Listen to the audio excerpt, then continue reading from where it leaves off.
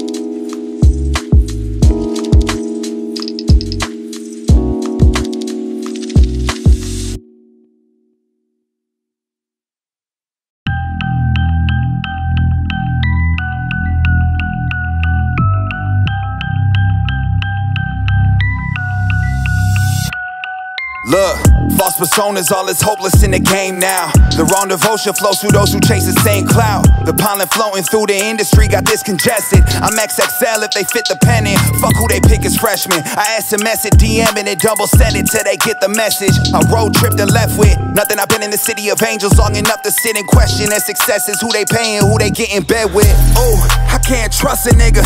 You rub a nigga wrong, heard to get to your position that you suck a nigga off and cover ups are troublesome. They hear a couple months and back up on the struggle bus. I see the shoe fitting well on you Cinderella boys. Cause dressing feminine, stepping in as a selling point. Renting toys, taking pics. Hope you break a thousand likes. Claim you got that life, but niggas never see you out at night.